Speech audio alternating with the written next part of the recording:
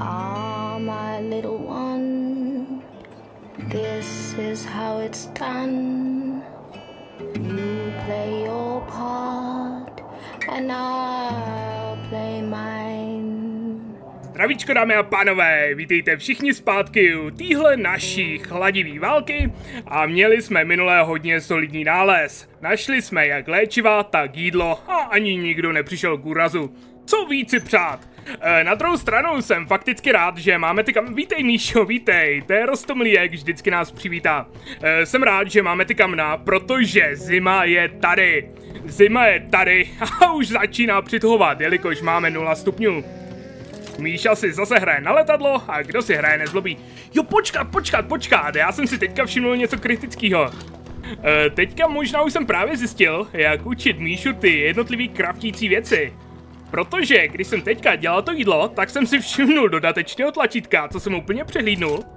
Jo, hele, tady můžeme učit Míšu nějaký kraftící věci.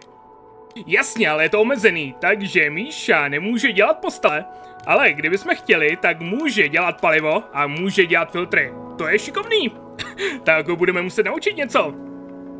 A vypadalo to, že teda ho můžeme naučit i vařit, což by bylo hodně užitečný. Kamaráde, mrňousi, co tam děláš? Je pořád lehce nemocnej, takže vidím to tak, e, že mu dáme najíst. Myslím, že Míša by rozhodně měl dostat teplý jídlo a potom mu dáme ty pilulky, jelikož konečně už máme tyhle základní a půjde chrnět. Štefane, ty jsi unavený, ty bys měl jít taky spát, víš to? Jo, a Káťa, jelikož v noci spala, tak může dneska se tady postarat do domácí práce. Tak Míšo, hele, napapej se, jo, přestaň si hrát na letadlo a pojď chrápat. Tak, šup, hezky do svého pokojíku.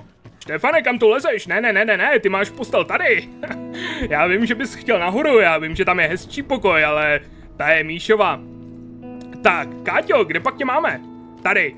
Pojďme si teda přičíst ty bia, protože to je něco, co jste po mně chtěli v minulý sérii, tak proč ne, hele.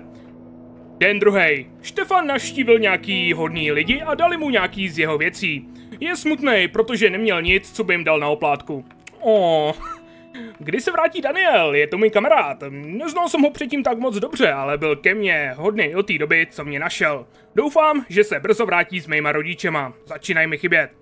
E, seděl jsem u velkého stolu s nima a snídali jsme, když přišli vojáci a říkali, že probíhá evakuace a že nás musí dostat do těch nákladáků. Je to zlý, no. Sněží! Chci si postavit sněhuláka a chci mít koulovanou, ale mý kamarádi tady nejsou a je velká zima, dokonce i vevnitř, když vyhasne oheň. Jo no, to je to, že jo, máme zapáleno a je 0 stupňů. Budeme muset zateplovat. Den druhý. Ubozí staří lidé. Nemůžu si v jejich situaci představit mý rodiče. To... Jo, jo, no, vždycky, když si člověk v takovéhle situaci představí svoje bližní, tak hnedka mu to změní ten pohled na to. A Štefan, Nejsem na to hrdý, ale musel jsem o těch chudáků krást. Jsme v nouzi po zásobách. Jako, takhle, nevím, jestli jsme v úplný nouzi, ale rozhodně nám ty zásoby pomůžou přežít. Tak, Káťo, pojď se podívat, z čeho můžeme udělat palivo. To znamená, to se vlastně musíme podívat tady, že jo, to nemůžeme přijmout těch kamen. Tak, pojď. No a jelikož máme nějaký to jídlo, z komponentů, to se mě nechce. Spal dvě knížky. Já vím, že jsou dobrý na ty deprese a na tu náladu, ale tak dvě by snad měly stačit. Uh, a nevím, co jsem... Jo, jelikož jsme teďka sehnali se Štefanem nějaký to jídlo a nějaký ty léky, tak myslím, že bychom se zase mohli chviličku soustředit na ty komponenty a tak. Aby jsme vlastně mohli tady upgradeovat, že jo? A hlavně, aby jsme si mohli udělat ty lepší pracovní stoly, to nám bodne hodně. No, nevím teda, jak dlouhá bude ta zima, ale čekám, že to bude drtivá většina naší kampaně. Což znamená, že nejspíš možná ani sběrače na vodu stavět nebudeme. Že veškerou vodu budeme muset eh, schánět eh, v pomocí toho sněhu a potom ji vždycky převařit na kamnech. To bude, to bude taky sranda. Ah, rozhodně bych rád eh, tu pálen, nebo takhle, tu, jak se tomu říká, tu palírnu, na tu pálenku a na to nám chybí nějakých šest komponentů. To není, to nezní úplně nereálně.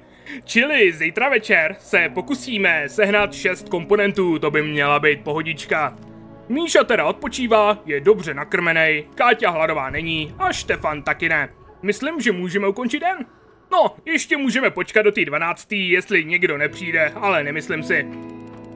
Kaťa možná, přece jenom, hele, když tady nemáme čím trávit čas, může aspoň sbírat nějaký sníh po zbytek dne. Asi hezky promrzne, ale ono nám to hodně pomůže, až potom budeme potřebovat ho převařit na tu vodu. Je 12, nikdo nepřišel, pojďme přeskočit den. Paráda. Tak a myslím, že budeme pokračovat v tom, že Štefan bude skevenžovat, Káťa, jelikož není unavená, tak klidně může na hlídku, no a Míša, jelikož je mrňavej a nemocnej, tak bude chrápat. Žádný nový lokace, takže si musíme vybrat z těch stávajících. Jelikož pořád nemáme ty pilky, tak myslím, že Není důvod proč jít do té školy, protože ačkoliv bychom mohli, tak nechci okrádat ty bezdomovce. A máme tady jako možnost nějaký to, nějaký ten byteček. Jasně, jasně, jasně, tam jsou teda zase nějaký ty bezdomovci. A vypadá to, že by neměly být hrozba a mohli bychom tam najít nějaký užitečný věci. Není tam jídlo, nejsou tam léky, ale jsou tam materiály, zbraně a součástky. Já myslím, že právě materiály a součástky jsou to, co potřebujeme nikdy neuškodí lopata a páčidlo. Ah, takhle, možná jsem si mohl vzít nějaký ten paklíč, ale radši bych ho právě potom šetřil na nějaký to nebezpečný plíženíčko. Jo, jasně, jasně, to je kde byl ten bezdomovec, co minule umřel. Už si vzpomínám na tuhle lokaci. Budeme chtít teda cukr, protože to nám umožní potom dělat zase pálenku, což byl v minulý sérii takový náš hlavní zdroj příjmu. No a pokud tady je zase dole ten bezdomovec, Jakože asi není, tak bychom se mohli pokusit. Je možný, že je někde tady v těch dalších místnostech. Ale pokud ho tady najdeme, tak bychom se mohli tentokrát ujistit, že tady neumře hlady.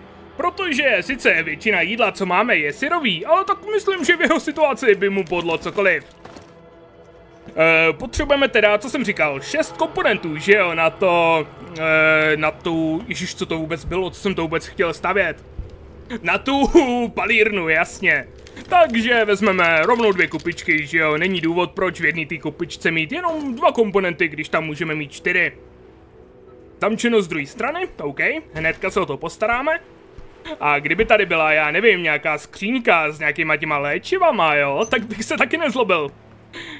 Pilka, OK. E, já vím, že bychom asi neměli čekat zázraky, že jo, protože na té skevenčovací obrazovce bylo napsané, že tady jsou jenom nějaký ty součástky, ale tak třeba by se jako mohlo poštěstit, kdo ví, že jo. Nějaký prkna by určitě taky neuškodili. Protože z těch v nouzi můžeme udělat palivo. A myslím, že to je mnohem výhodnější. Hm, látka OK, potom na batoh. A myslím, že to je právě mnohem výhodnější, eh, než ho dělat z těch klasických komponentů, že jo, protože prkno je na to potřeba jenom jedno, kdežto komponentů to bylo asi dva nebo čtyři, tak nějak. V dopise je napsáno, nejdražší Maršo, našla jsem nějaký přístřeší mezi bezdomovcema. Už nejsem ani učitelka, ani e, malířka, dejme tomu, jsem teď jednou z nich. E, nemám tady moc jídla a zjistila, nebo takhle, není tady moc jídla a tak mě někteří z našich přátel už opustili. Ale nedělej si starosti. Taky se pokusím najít o něco vhodnější přístřeší hned jak dokončím moji balbu. To je dobrý no, že tvoje malba je důležitější než zatracený přežití. A člověče, jako já to umění nechápu. OK, ale zatím to teda nevypadá, že by tady byl ten hladový týpek. Cukr! Člověče, jsme dneska hotoví cukráři. Další nějaký psaníčko. Někdo nejspíš tenhle obrázek namaloval nedávno. E, jsou na něm bohatě vypadající lidi, kteří sedějí dohromady v nějaký rozbitý budově. Je to nejspíš nějaká metafora. Jo no, koukám, že Štefan chápe umění stejně jako já. Hej, přítelíčku. Tak pokud vydržíš do zítra, tak bych se mohl vrátit s nějakým jídlem. Ale to je to, jestli vydržíš do zítra. Nic neslibuju, jo, ale pokusím se ti něco přinést. Bylo nás víc, než nám došlo jídlo. Jo no, kamaráde, válka je krutá. Už jsem nejedl několik dní. Hele, pokud si nejedl několik dní, myslíš, že je nejchytřejší se tady schovávat místo toho, abys šel hledat jídlo? No hele, na to, že když jsem šel do téhle lokace, tak jsem nic nečekal, jo, tak tady nejsou úplně nejhorší věci. Vezměme si ty dvě knížky. I když to cigáro by se potom u Zorana mohlo docela dobře prodat. Víte co? Dejme pryč ty elektrické součástky, protože ty ještě nějakou dobu potřebovat nebudeme. A vezměme místo nich teda to cigáro. Tak, hele, příteli, pokud vydržíš do zítra, pokusím se něco přinést. Ale fakt nic neslibuju. Tak, jsem zvědavej, jestli teda budeme mít přepadení nebo ne. Samozřejmě doufám, že nebudeme, že jo, ale tak. Měli jsme Káťu na hlídce, tím pádem by snad nemuselo být. Štefan měl zjevně fakticky dobrý. Oh, co nám vzali? Vzali nám dvě paliva, vzali nám uh, konzervu a vzali nám prkno. Míša, Míša s Kláťou jsou oba docela raněný, nebo jsou lehce raněný. To je, to je nepříjemný, no. Co hodně děláme? Hnedka jak to půjde, tak by to chtělo to opevnění. Na vaření nám chybí takhle, tu lepší porci nemůžeme, protože nemáme žádnou zeleninu, ale mohli bychom udělat ty klasické porce. Kolik máme konzerv? Žádný, OK. Míša s hladem na to, Míša hladový není, tím pádem navaříme dvě ty slabší porce, aby jsme měli aspoň teda pro Štefana a pro Káťu. Uděláme palivo z těch prken, jak říkám, myslím si, že to je fakticky nejvýhodnější. Míša je lehce nemocný a lehce zraněný. Kamaráde, s tebou si nebudeme zahrávat. Jo, protože ty jsi malý a křehkej. A tím pádem ber obvazy, ber prášky a běž chrápat. Jo, to, on jak je malinký, tak se ani nemůže sám obvázat. A Káťa taky no, lehce nemocná a lehce raněná. Hodně nepříjemný. Jo, vlastně počkej, on ti musí pomoct ten dospělák, že jo? Tak já myslím, že o to se může postarat Káťa. Tak. Štefane, pojď vařit, kámo. Jak tam mají k tomu i ty animace, je to, je to hezky propracovaný, no, s těma dětma. Je vidět, že si s tím hodně vyhráli. Tak a Káťo, ještě mu dej pilulky a Míša půjde spinkat. Je teda smutný, ale myslím si, že je důležitější ho dostat do zdravého stavu, než dostat ho do spokojeného stavu, nebo takhle, do stavu radosti. Tak běž chrápat, mrňousy. Káťo, pojď, jíst? A Štefane, my mezi tím můžeme... No, já myslím, že počkáš, než bude řada s obědem na tobě. Tak, pojď se najíst a Káťo, vidím to tak, že nepůjdeš chrápat, protože chrápat musí Štefan, aby byl ready na večer. Zdravíčko! Hele, ty nevypadáš jako Zoran. Mám pro tebe nabídku, no to jsem zvědavej. Jsme tady noví, no. Co pak přinášíš, příteli? Můžete mě s něčím pomoct? Zdravíčko sousedi, vy nejste odsaď, že ne? Přišel jsem vám říct, že nedaleko je opuštěný dům. Majitelé utekli z města už před nějakou dobou, když to pořád ještě šlo. Pokud mě pomůžete dostat se dovnitř, tak tam možná najdeme něco cenného. Co vy na to? Já na to, že bych rád, ale jelikož Kátě je nemocná a unavená, tak myslím, že aktuálně nemůžeme. Tyjo, už dlouho jsem v téhle hře nemusel takhle jako akutně odmítat ty lidi. Docela drsný, no. E, pojďme udělat nějaký palivo, protože teplota je v mínusu a nerad bych tady umrznul, čili udělejme tak pět. Asi nám nakonec teda dneska nezbyde na tu palírnu, ale myslím si, že je důležitější neumrznout, než pálit alkohol. Jo, kámo, teď už jsem ti řekl, že dneska ne. Docela mě děsí, že... No, konečně. Docela si mě děsil, jak se tady zíral na Káťu. OK, uděláme těch pět paliv a myslím, že to nás na pár dnů zahřeje. Tak na dva, na tři aspoň. Tak čtyři z pěti a pět z pěti. Paráda, to bude za chviličku. No a jelikož teda dneska už někdo přišel, tak nemusíme nikoho dalšího čekat a můžeme se starat o to, co tady máme na práci. To znamená jedna, dva, tři, my jsme bratři, čtyři, pět, šest, něco, něco, něco. No a než teda skončíme den, tak pojďme ještě něco pokraftit. Eee, nemůžeme, chybí mě jedno prkno. Sakra, kdybych udělal o jedno palivo míň. Že já vůl jsem to předem neskontroloval. Ah, mohli bychom udělat další postel, no. Protože stálo by nás to nějaký komponenty, ale jelikož zítra půjdeme zase do té do té lokace, kde jsme byli minule s tím hladovým chlapíkem, tak tam nějaký nabereme. Pojďme udělat postel, ať si Káťa může taky odpočinout. Ta postel třetí není akutní, ale rozhodně nám neuškodí. Dáme tu postel do té hromady toho sněhu. Takhle před tu puklinu v té zdi. To by, to by asi nebylo moc příjemný spaní, co? Dej mi sem do rohu takhle. Pojď to postavit. A to dneska v pohodě stihneme. Štefane, ty seš teda jenom unavený, takže to není problém, to jako do večera se stihneš vyspat a snad to stihne Káťa. Rád bych jí dal na hlídku, no, ale problém je, že ještě nemáme žádnou bouchačku. Ještě nemáme žádný kver a tím pádem ona se nedokáže bránit, že jo, takže... Hol, ty přepadení teďka budou o to, o to drsnější. Jsem se úplně zakoktal normálně. Jaký strach mě ty banditi naháněj. Tak, postýlka bude za chvilku hotová, čili Káťa si taky schrupne. Jelikož to je dospělák, tak myslím, že ty léky nejsou tak extra důležitý a přeskočíme zbytek dne. Hop! A hop! Paráda! Jak to vypadá? No, Káťa se z ničeho zatím nestihla vylízat, ale Štefan už aspoň není unavený. Takže, Káťo, spát? Míšo, Jo, no, já jsem si divil, co to tam je všechno napsaný. Ale no tam vlastně jenom je, že teda, že má teda léky a že má teda ošetřený ty rány, dobře. Takže taky spát. Nebudeme mít dneska žádnou hlídku, ale myslím, že je důležitější se zotavit. A byli jsme teda tady, že jo? Přinesme mu tam, já nevím, dvě tyhle kotlety, to by mu snad mohlo stačit. A jinak nic, že jo, protože nic tam už není potřeba páčit. Nejsou tam žádný hromady sutin, takže můžeme jenom nabrat na troš a jít domů. OK. Snad to teda vytržel ten jeden den. Byl někde tady, že jo? Já jsem neodklidil minule ty dveře. To jsem taky kus vola. Tak pojď, Štefane. Vezmeme to zase horem. Čup? Tady, jo, tady jsou teda ty dveře na pilku, ale to bychom stejně nemohli, protože ještě nemůžeme dělat pilky. A kamaráde, já vím, že nemáš nic na prodej, jo? Gryša, ale tady, snad ti to pomůže.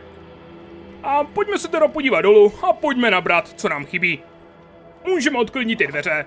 Nejsem... Hele, mám něco, co by vám mohl, co by se vám mohlo hodit, OK? Povídej. Pojď za mnou. Hele, tak možná, že z toho přece jenom něco bude, to by nebylo na škodu. Já jsem doufal, že půjde sem a že nám otevře tu mříž. Protože mě fakticky zajímá, co je za ní, no ale tak uvidíme, co pro nás má. Fajn, OK, nevím kam nás vede. Snad nás nepřetáhne nějakým kláckem přes hlavu. Snad to není bandita v přestrojení. Tak? Je ve sklepě, jo? Je něco za barelama. OK, děkuji kamaráde. Hele, tak možná, že nakonec se to vyplatí. Jako tohle je všechno, jo? To jako, jo tady, aha. Už jsem se like člověče. Jako já nechci říkat, že by byla urážka, kdyby nám dal, no to je ono, kdyby nám dal jenom komponenty, jo, ale byla by to urážka. Dal nám čistý alkohol, který je mnohem lepší než ta základní pálenka, dal nám drahokam. Hm, na to, že tenhle večer v podstatě získáme jenom nějaký materiály, tak se nám to bude hodně hodit. Až příště přijde Zoran, tak budeme moc obchodovat. A nějaký prkna k tomu. To by nám mělo dát dostatek na tu palírnu. Jenom bude problém s tou vodou, no. Jak nebudou teďka funkční ty sběrače, eh, tak získávat vodu bude docela obtížný. Co bylo vůbec tady v té skříni? Já vím, že v mi... Jo, jenom základní věci. Já vím, že v minulý sérii jsme do ní natahli nějaký věci, ale teďka jsme vlastně v jiný jakoby éře, že jo, jsme v jiný dimenzi. Už vlastně nehrajeme tu předchozí sérii. A jenom teda doufám, že nebudeme mít žádný přepadení. Rozhodně by mě to potěšilo, kdyby jsme měli klidnou noc. Den šestý. Prosím, klid. Prosím, klid. Ano, Štefane, vím, že si toho přines hodně. Ale otázka je, kolik nám toho sebral... O, oh, děkuju, nesebrali nám nic. OK. Takže doufám, že se vám dnešní epizoda líbila. Já jsem hodně rád, že máme teda tu klidnou noc. No a uslyšíme se zase příště. Mějte se do té doby všichni moc pěkně. Čau čau.